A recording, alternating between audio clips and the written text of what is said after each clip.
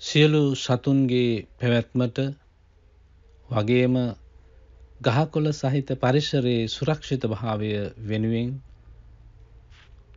ජලය අත්‍යවශ්‍ය සාධකයක්.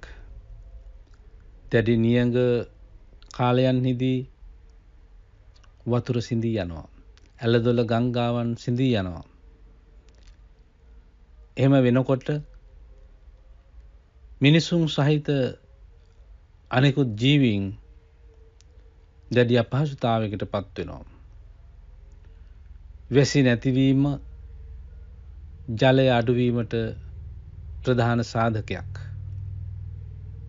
එනිසා බුද්ධ දේශනාවේ සඳහන් වන වැසි පිරිත ඉමහත් ගෞරවයෙන් සහ උත්සවාකාරයෙන් සජ්ජායනා කරනු ලබනවා වර්ෂාව ලබා ගැනීමේ අරමුණ ඇතිව.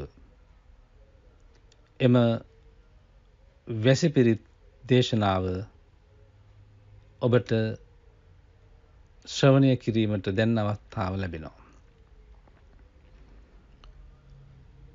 සුභූතෝච මහතේරෝ මහාකායෝ මහෝදරෝ නීලවන්නෝ මහාතේජෝ පවස්සන්තු අලාහකා අභිත්ත නය පජ්ජුන්න නිධිංකාකස්ස නාසය කාකංසෝකාය රන්දේහි මංචසෝකා පමෝචය